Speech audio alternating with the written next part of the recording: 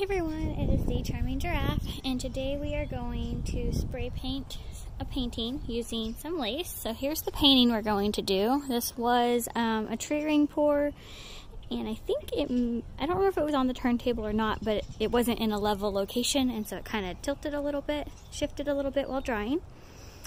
And then the lace we're going to use today, oops, sorry, bumped ya, is this lace. I got it on sale at Joann's this weekend. It's really pretty. So I'm just going to lay this over it. I want it to go this way on the piece. Set it in this cardboard box here. I'll adjust that in just a second.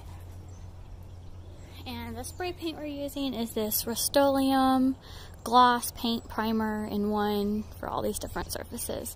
It's got this cool little trigger thingy um, nozzle instead of the traditional one. So, I don't know. Picked this up at probably just Walmart, I think. So yeah, we'll go ahead and get started.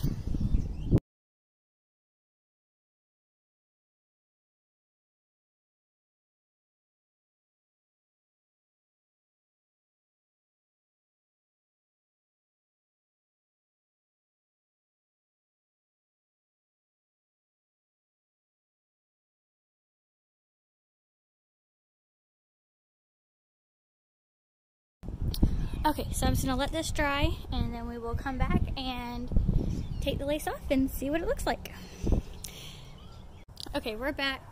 I think it's dry pretty good, so let's see what happens here. It actually feels almost like it's stuck to the painting, which I hadn't really experienced with that yet.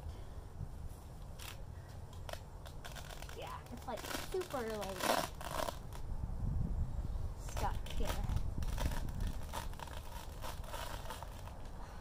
Really fun. Not really. I don't know if that's the lace's fault or the spray paint's fault.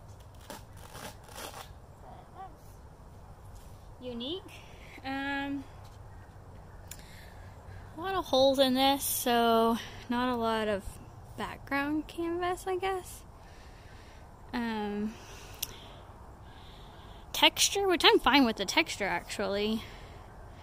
It's not too cool with the uh, the stuckness and kind of some bleed through. So I think I might need to do some practice on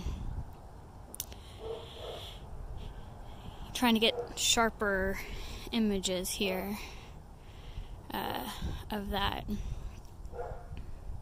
lace because you can see where you can see more canvas over here but a lot of bleed through on this side where it's darker. But it's okay. You learn and you practice and you keep going at it. So let me know what you think about this piece in the comments below.